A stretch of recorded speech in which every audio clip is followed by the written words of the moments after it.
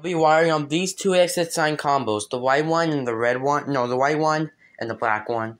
So I might wire these up. So let's go ahead and begin like the, the wiring. So I just came back, so let's go ahead and start with this one. I'll be starting with this. First I will be starting with this one.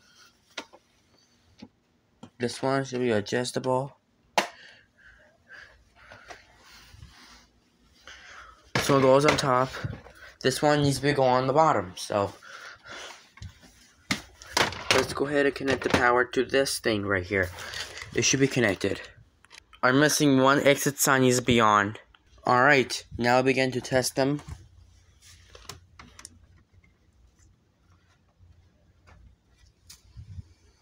Now we'll be starting with this one. Working alright, but in just this heads.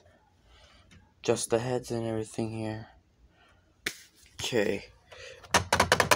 Okay. Okay, this is why I'm not doing this stuff. There you go. Now able to test. There you go. And that all free. And uh, I think that's all.